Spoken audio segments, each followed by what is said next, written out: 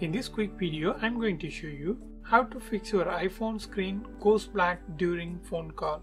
I mean, you can't end your phone call after you speak to the particular person. It's just black. Your iPhone screen will not be appear even if you press the side button, volume button. So the solution may be so simple. It's just one step.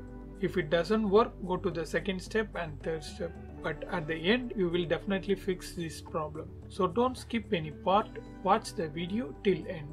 Step number 1. What you have to do means just go to settings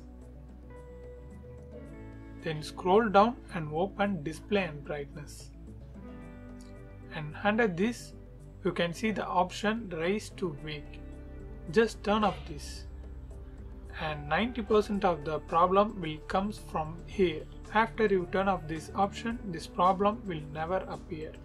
Step number 2. Go to settings and scroll down and open accessibility. Then open motion and turn on reduce motion. That's it. After you turn on this, check your problem was solved or not. If still your problem continues means just remove your screen protector.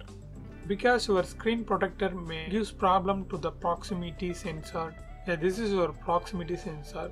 So just remove your screen protector and check whether the problem will be solved or not. Hopefully it does. Yeah this is the three steps. Definitely it will works.